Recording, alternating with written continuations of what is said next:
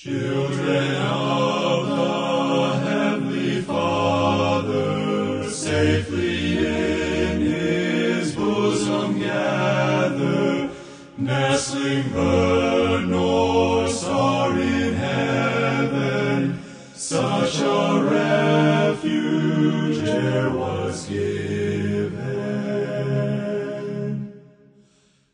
God His own doth tend and in His holy course they flourish. From all evil things He spares them, in His mighty arms He bears them.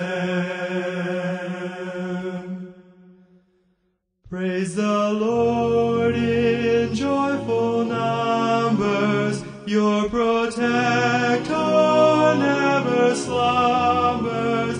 At the will of your defender, every foeman must surrender.